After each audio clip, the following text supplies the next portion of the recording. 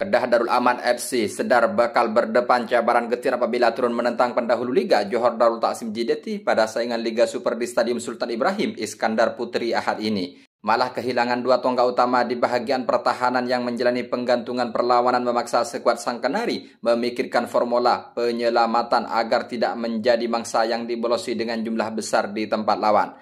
Terdahulu, pemain pertahanan kiri Arif Farhan yang mengumpul tiga kad kuning bakal menjalani penggantungan satu perlawanan. Manakala seorang lagi pemain pertahanan Wan Amirul Afik turut menerima nasib sama kerana status kad merah diterimanya pada aksi menentang Penang FC Rabu lalu. Menurut Ketua Jurulatih KDAFC Napozi Zain, penggantungan dua pemain itu menyebabkan sekuatnya berdepan tugas lebih sukar daripada sebelum ini kerana kedua-dua posisi itu penting demi mengekalkan kekuatan kubu Kedah. Kami perlu melakukan pencaturan baharu dengan meletakkan pemain lain yang mampu memberi keseimbangan di posisi penting kubu Sang Kenari untuk aksi Ahad ini.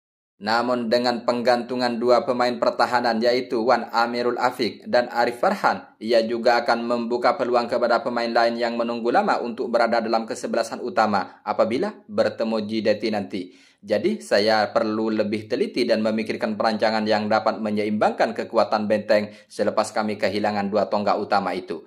KDAFC dan JDT masing-masing berada pada kedudukan dua pasukan teratas Liga Super setakat tujuh perlawanan dengan menyaksikan JDT mendahului dengan jumlah 21 mata berbanding KDAFC 16 mata. Sekian informasi kami buat, semoga bermanfaat.